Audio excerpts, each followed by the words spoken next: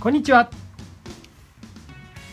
ヴィンテージコンピューターチャンネル。今回は第43回となります、えー、通常よりねちょっと2日遅れての都合により2日遅れてのヴィンテージコンピューターチャンネルとなりましたけれども、えー、今回はですね、えー、健全な改造は、えツールからと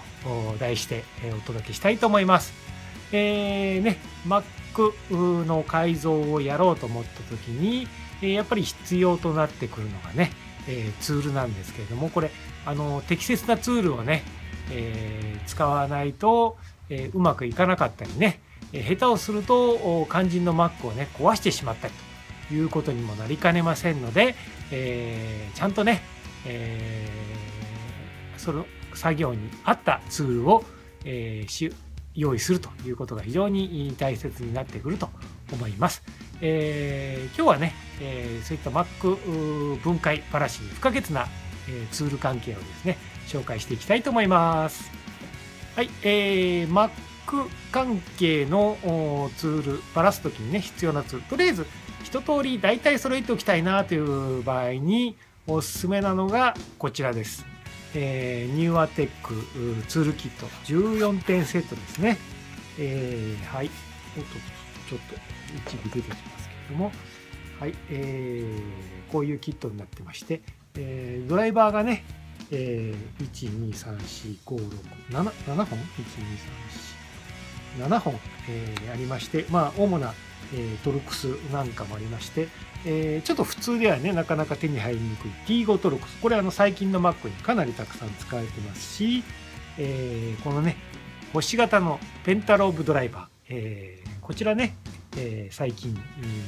ノートブックには非常にたくさん使われてますので、えー、そちらも入ってます。えー、あとはね、ピンセットとか、えー、樹脂の、えー、ツールなんかも一緒に入ってますんで、これはね、えー、とりあえず一通り揃えておきたいという方には大変おすすめのツールキットです。はい。えー、そしてね、えー、先ほどもニューアテックのツールキットの中でね、えー、ご紹介しましたけれども、えー、最近の MacBook Air だとか MacBook Pro Retina を、えー、分解するときにね、えー、必ず必要となってくるのはこの T5 トルクスと、えー、ペンタローブドライバー星型、えー、ドライバーです、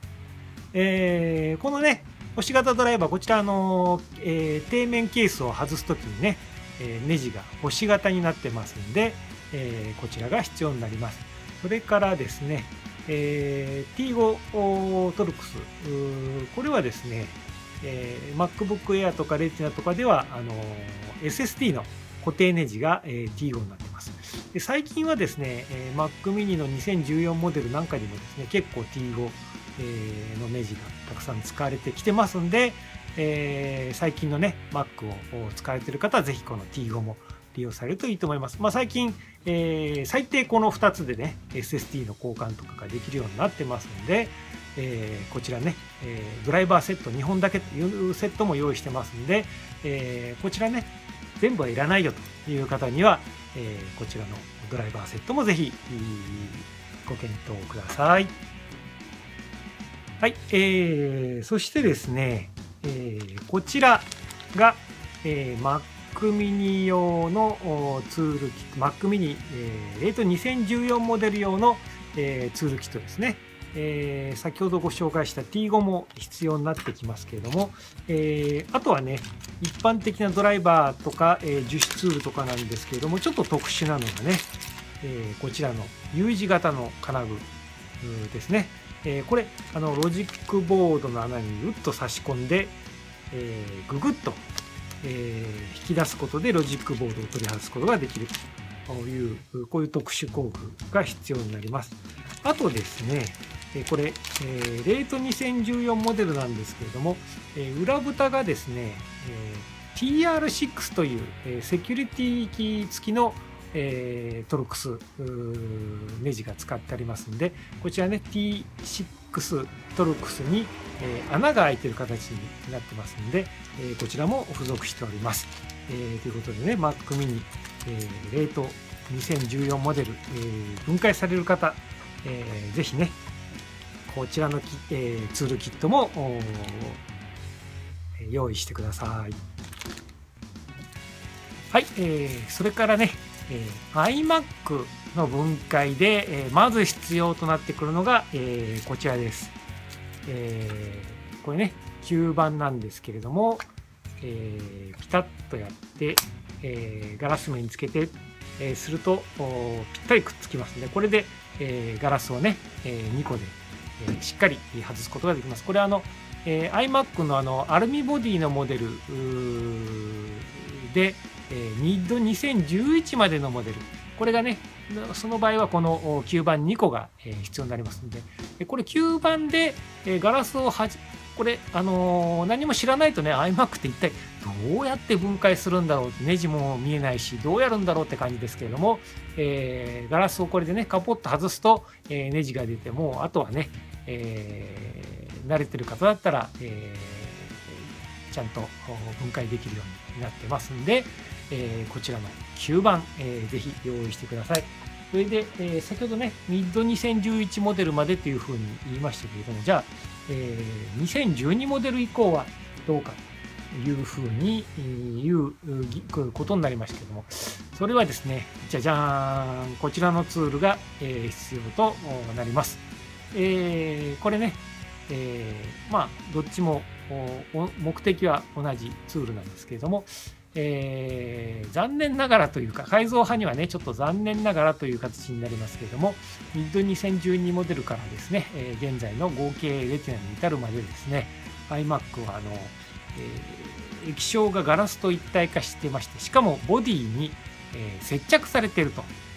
え、じゃあ、開けようがないのかというとですね、え、実は案外、え、ちゃんと簡単に開きます。えー、ボディとそのね液晶の間に、えー、このね、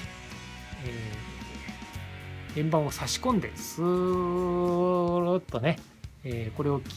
切り込んでしまうと、え、ディスプレイがねカポッと外れる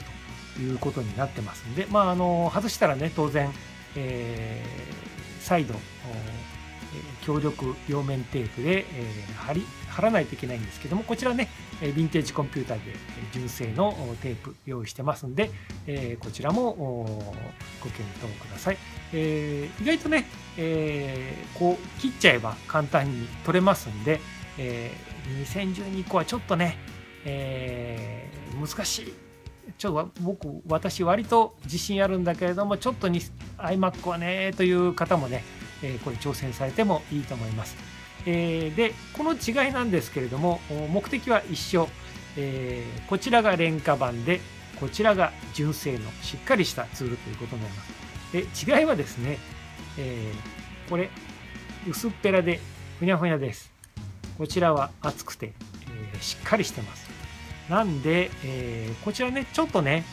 やりにくくて、えこれ何回も使うというのはねちょっと難しいです。